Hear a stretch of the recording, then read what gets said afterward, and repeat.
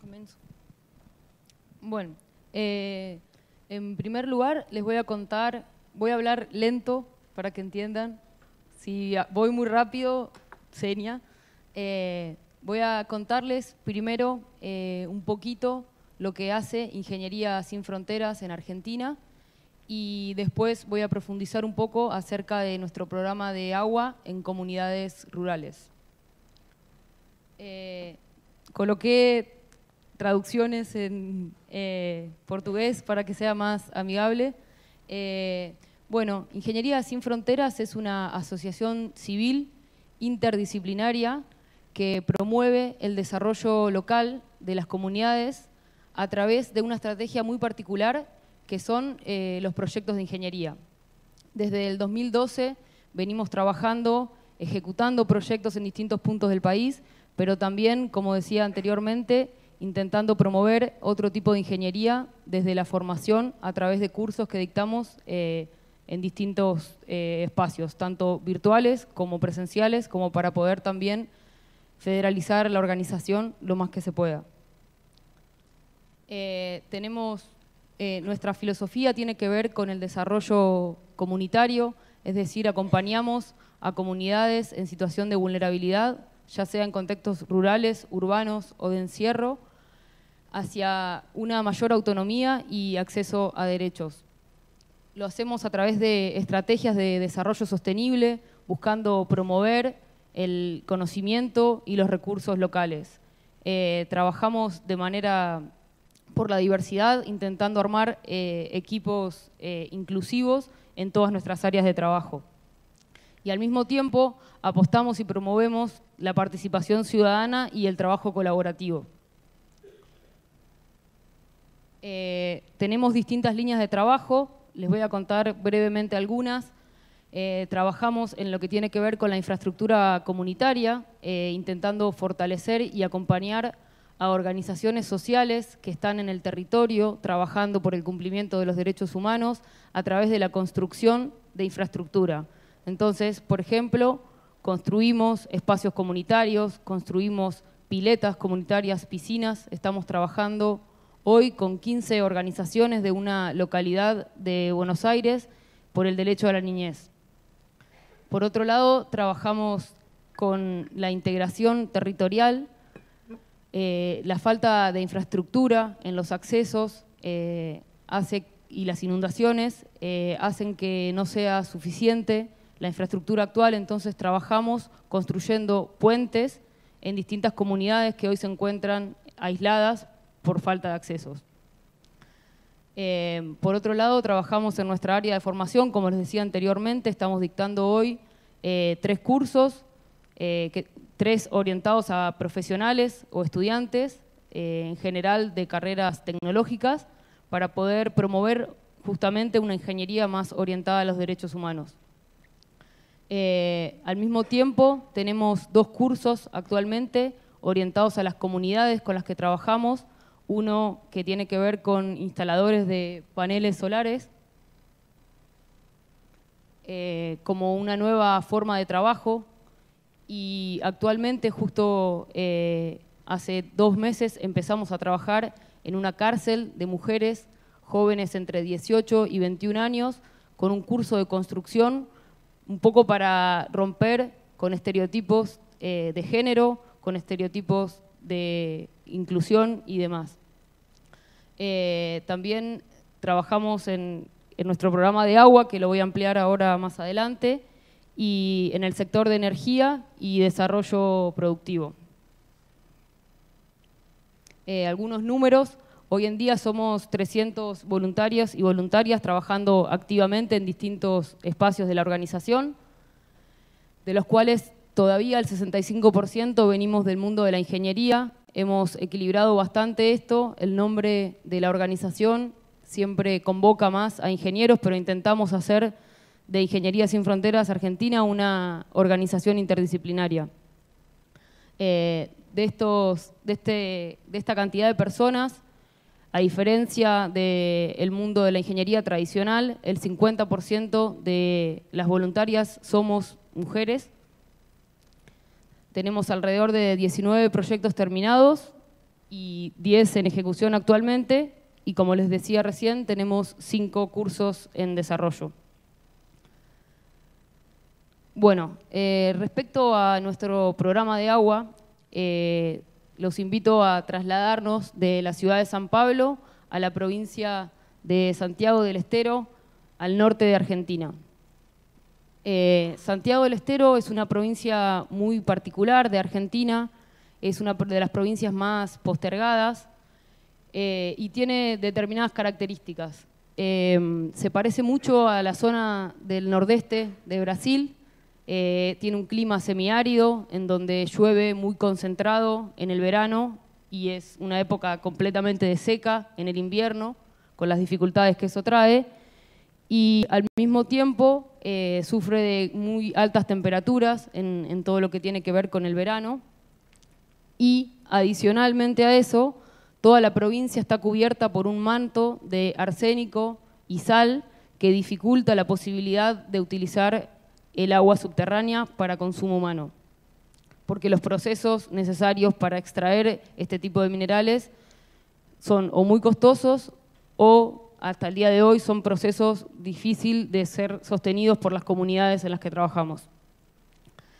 Eh, es la provincia con mayor cantidad de habitantes viviendo en zonas rurales, cerca del 31% vive en zonas rurales, eh, en Santiago hay casi un millón de personas viviendo, o sea que más o menos 300.000 viven eh, en situación eh, rural.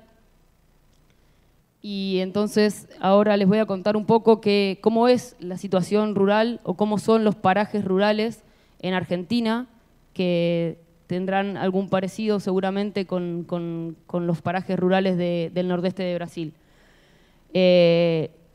algunas características de estos parajes eh, la primera y principal no se ve bien en la imagen, pero es que son eh, zonas aisladas, cuyos caminos y accesos están en muy malas condiciones, lo que hace muy difícil entrar y salir, a veces frente a emergencias o frente a situaciones que uno necesita salir. En cuanto comienza a llover, ya es imposible salir de estos lugares. Eh, lo que pueden ver, acá, permiso que me paro, es todos estos pequeños puntos que se ven más blancos son distintos parajes. Esta línea que va por aquí es una ruta y todo lo que está hacia adentro son comunidades rurales. Estos puntos amarillos son dos de las comunidades con las que estamos trabajando actualmente. Eh, este es un mapeo de una de ellas, eh, es la comunidad de San Antonio, y pueden observar que la distancia entre cada una de las viviendas es más o menos entre 100 y 1000 metros. Eh, estas comunidades tienen como centro de organización social en general una escuela primaria y no mucho más que eso. Eh, cada familia vive en una unidad doméstica similar a esta, que está compuesta por un lado eh, por la vivienda o morada, que en general están construidos con elementos del entorno, son viviendas de barro, madera y paja, que tienen la cocina y el baño por separado, y al mismo tiempo cuentan con un gran patio en el que se pueden encontrar elementos que traen tal vez del monte o de ladrillos o cosas para la construcción. Eh, tienen también en ese ámbito en el que viven sus corrales con sus animales, con algunos chanchos, gallinas, cabritos, y por otro lado, los animales de carga, que son los que utilizan para transportar la mercadería o los postes o la madera que sacan del monte. Eh, una característica muy importante de estos espacios es la falta de acceso al agua. En Santiago del Estero, en toda la provincia, el 20% de los habitantes se traslada hoy en día para buscar el agua para beber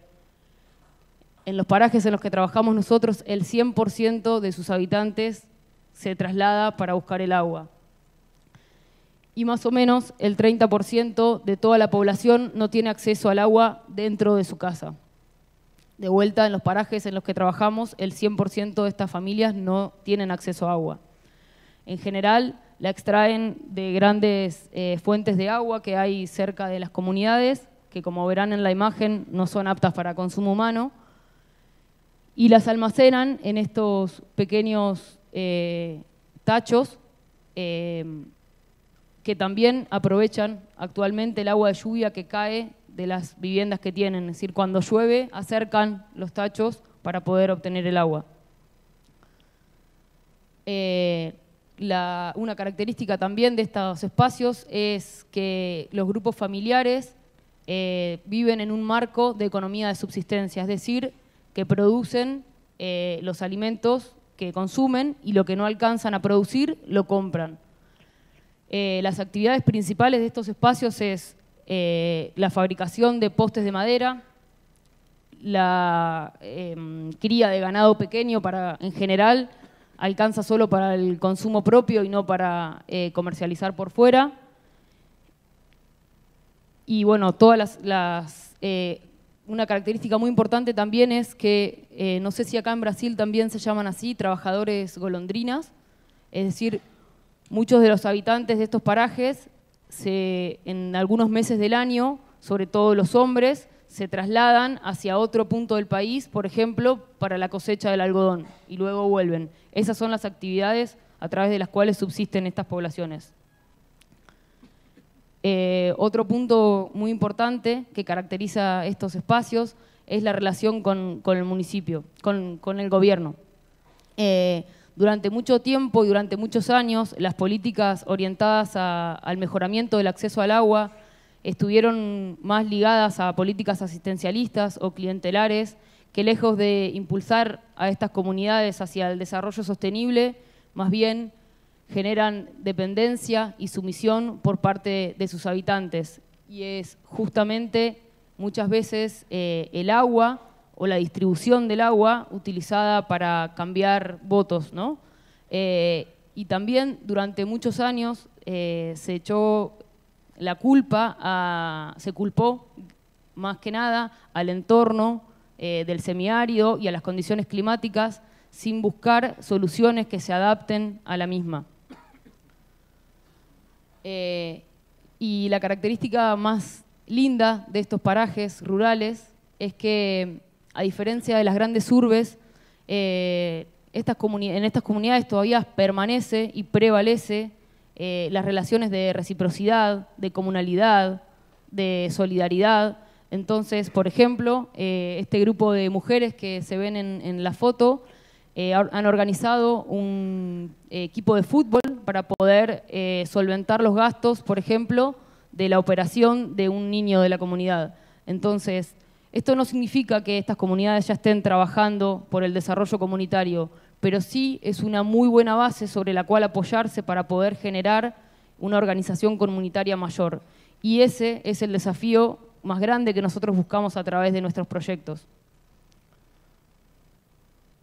Eh, sintetizando, creo que ya fue bastante claro, el problema más fuerte de Santiago del Estero es el acceso al agua para consumo humano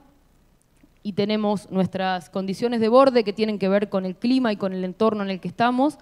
y condiciones más de tipo político y social. nuestro programa de agua está mayormente basado hoy en día eh, en la cosecha de agua de lluvia, y tiene tres grandes objetivos.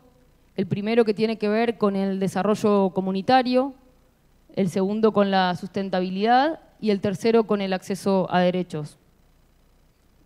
Eh, en relación al desarrollo comunitario, eh, lo que intentamos a través de estos proyectos es promover la autonomía de estas comunidades a través de procesos de participación y poniendo siempre a nuestras comunidades como sujetos de derecho. Entonces lo que hacemos es armar grandes asambleas con todos los vecinos para poder entre todos priorizar y determinar cuáles son los problemas más importantes y de qué manera queremos resolverlos. Eh, la intención de esto es, por un lado, hacer a estas comunidades más conscientes de cuáles son sus derechos y, por otro lado, eh, generar o devolver a estas comunidades la toma de decisión sobre cuál es el rumbo que quieren tomar como comunidad. En relación a la sostenibilidad, creo que eh, lo más importante es lo que decía hace un ratito, buscar y pensar en tecnologías que que sean eh, acordes a la convivencia con el semiárido, es decir, no intentar traer tecnologías que estén por fuera, sino aprovechar tal vez eh, las condiciones que nos da el clima. Si llueve mucho a lo largo de todo el año, a lo largo del verano, porque llueve bastante, hay que buscar la forma tal vez de estoquear el agua para, para poder consumirla en la época de seca. Entonces, tal vez es volver a pensar de qué manera utilizar los recursos que tenemos disponibles para poder generar proyectos que puedan ser sostenibles. Eh, por otro lado, eh, también buscamos trabajar con los recursos y los conocimientos locales, es decir, el diseño de este proyecto fue elaborado en conjunto con las comunidades, eh, aprendiendo de ellos cuáles son eh, las formas de construir que tienen, entonces aprovechamos la madera que tienen en el monte para poder armar los techos y hicimos un diseño especial para eso en conjunto con ellos y tomando su conocimiento como, como valor. entonces, Em,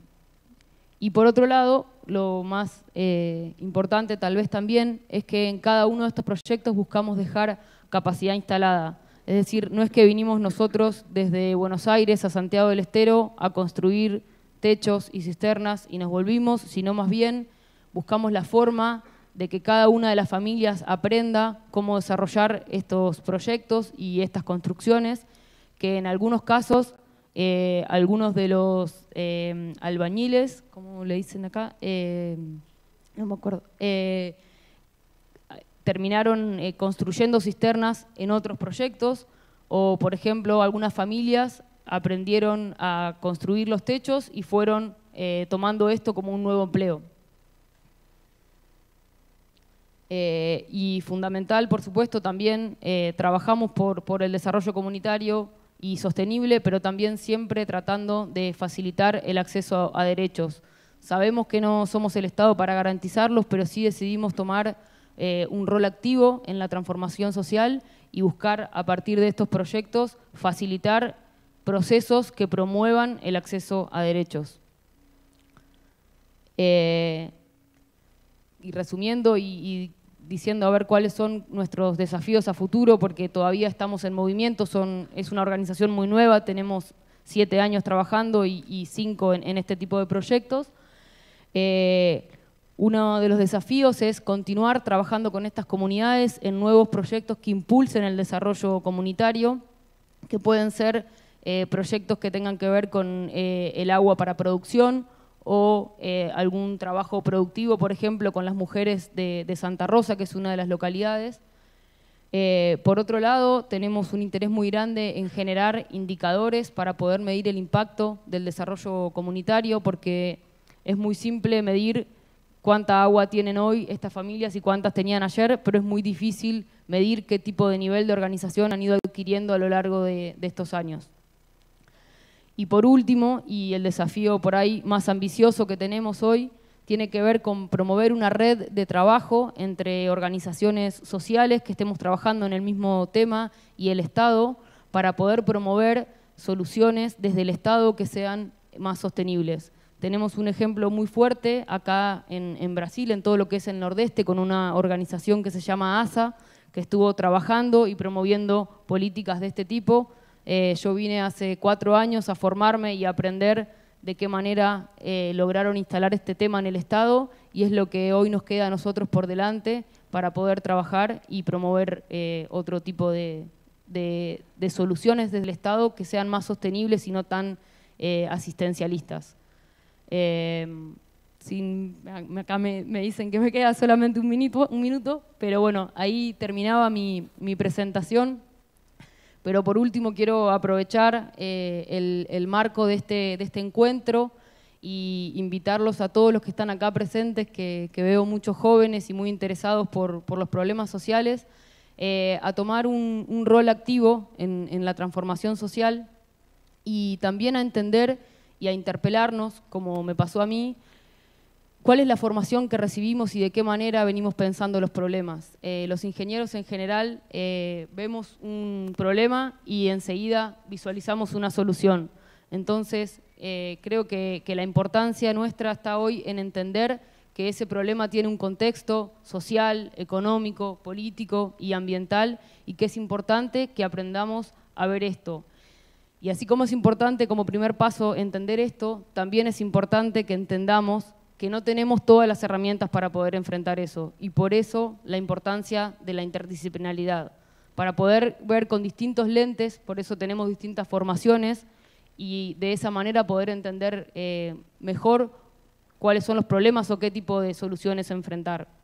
Eh, creo en lo personal y desde Ingeniería Sin Fronteras creemos también que tal vez la única forma de salir de todos los problemas que estamos atravesando en este mundo es eh, de unirnos y trabajar de manera colectiva. Como decía antes, eh, no creo que, seamos el, el, Estado para garantizar los derechos de ninguna comunidad, pero sí creo que como miembros de la sociedad civil tenemos la responsabilidad de tomar un rol activo en esto y poder empezar a trabajar todos juntos para poder hacer de este mundo un mundo mejor. Nada más.